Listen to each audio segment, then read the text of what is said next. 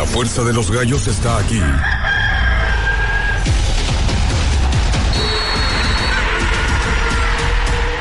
Siempre gallos.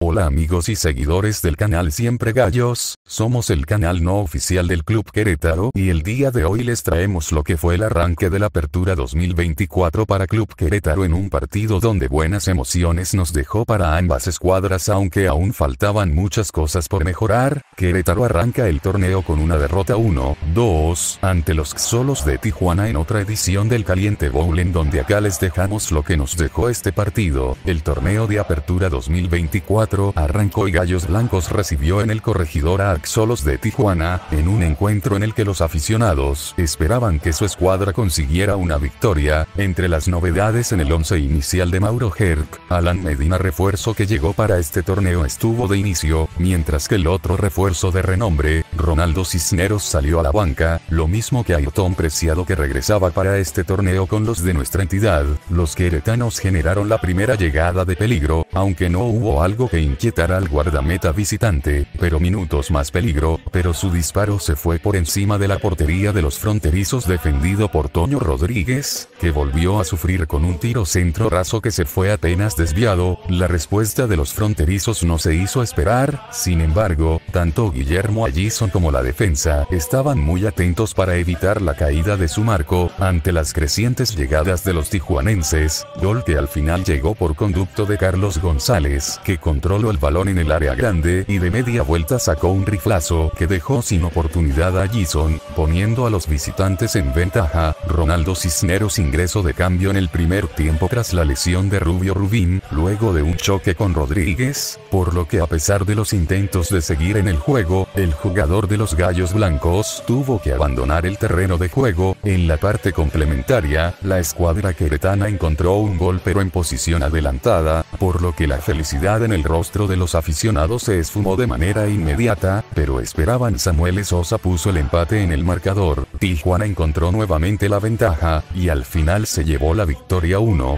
2, amigos y seguidores pues que podemos decir, queda claro quiénes son favoritos entre los equipos del mismo dueños, solos bien armado, con jugadores que llegaron en tiempo a la pretemporada, tuvieron mejor contundencia en cierta forma, porque en su defensiva estaban también para el olvido, Querétaro sencillamente otra vez a conformarse con lo que se alcanza en la directiva queretana, con un Mauro Ger que salió molesto a la conferencia de prensa porque no puede ser posible que NL pudieron cumplir con los acuerdos de la renovación del Eterno, Querétaro tuvo buenas llegadas, es un equipo completamente nuevo en jugadores que llegan, buenas sensaciones dejaron Sosa, Cisneros, Medina, Preciado, otros no tan activos como el caso Barrera, Alison, Lertora, Venegas pero que cumplieron en cierta forma, ojalá que no sea de gravedad la lesión de Rubio Rubino Perlaza, porque para reponer está difícil y los que así Mendoza y Parele de contar, esperamos y para el juego contra América el próximo viernes se note un mejor equipo y ahora quiero tocar el tema de la televisora, si como bien saben,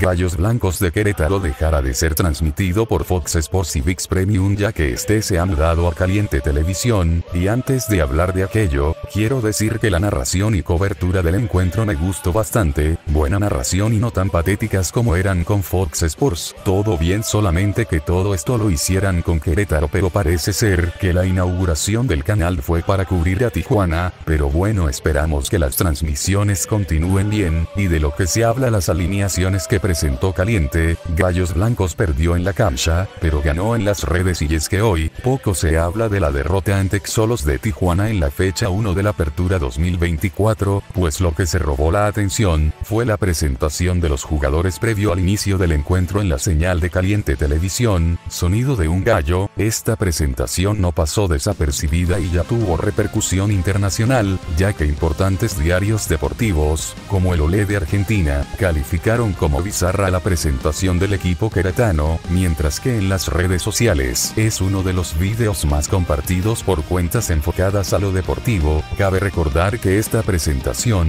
fue parte del debut de las transmisiones de Gallos Blancos en la señal de Caliente Televisión, por lo que dicha presentación fue producida por el canal de la casa de apuestas, de verdad a este punto Grupo Caliente demuestra que a Querétaro les vale, es increíble que pongan a los jugadores a cacarear, de verdad que es lamentable, y así será mañana con Femenil en su presentación en la televisora. Y quiero ver cómo harán la presentación de Xolos en la próxima jornada harán que ladren como un perro, de verdad es increíble, pero bueno, ¿qué más queda? Arranco el torneo, acá estamos con el gallo blanco, que este es el comienzo en donde desde ahora espero que le callen la boca buenas alegrías, sin nada más que decir saludos a todos, preparen la botana y nos vemos el próximo viernes saludos.